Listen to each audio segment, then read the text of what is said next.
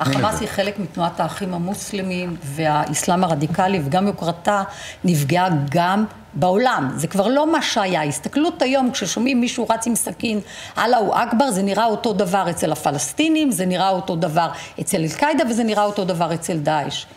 אה, לכן, מה שהחמאס רצו בעצם, וביחסים עם אבו מאזן, הם רצו שייווצר מצב שהם יביאו את אבו מאזן כראש עיריית עזה לנהל את העניינים האזרחיים, והם ימשיכו ויהיו פנויים למאבק, אה, למאבק נגד מדינת ישראל, וזה אומר כל משאב שמגיע לעזה נכנס למאבק הזה. בסופו של דבר יש שני מיליון איש בעזה, וראש הממשלה רצה להרחיק כמה שיותר את, ה, את מה שהוא בלתי נמנע, נראה כבלתי נמנע כרגע. במובן הזה של קיום הומניטרי מינימלי לאזרחים שם.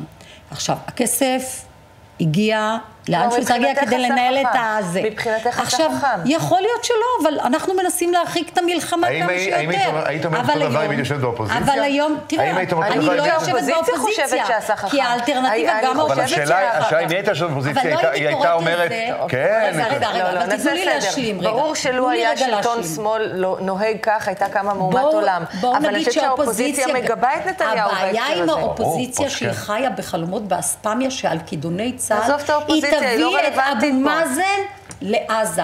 אבו מאזן גורש מעזה, וכשהאנשים מהפת"ח נזרקו מהגגות ונגררו גופותיהם ברחובות עזה, הם, ואלה שניצלו רצו למעבר ארז כדי לקבל את הסיוע מישראל. אני יוצרת... מה שאני אומרת שצריך לדבר במונחים של הפסקת אש, לא במונחים של הסדרה, צריך לחדש את ההרתעה במובן של יצירת הפרימטר כפי שהיה, לא לאפשר להם להתנפץ לנו על הגדר, לחדור לשטחנו, כשהם שרים את שירי השיבה ואת השירים האלה, הם מדברים על לנעוץ את המפתחות בעיני היהודים הם חיים בחלומות באספמיה שהם הולכים לחסל אותנו, והמוטיבציה שם קיימת. הם הביאו אסון על בני עמם, אבל זה לא התפקיד שלנו להמליך מלכים.